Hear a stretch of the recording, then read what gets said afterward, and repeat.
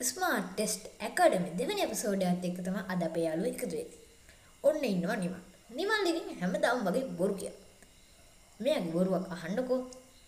ආ කමල් මම දැන් ඉන්නේ ගුවන්තොටු වලේ. මාව හම්බෙන්නේ නැහැ.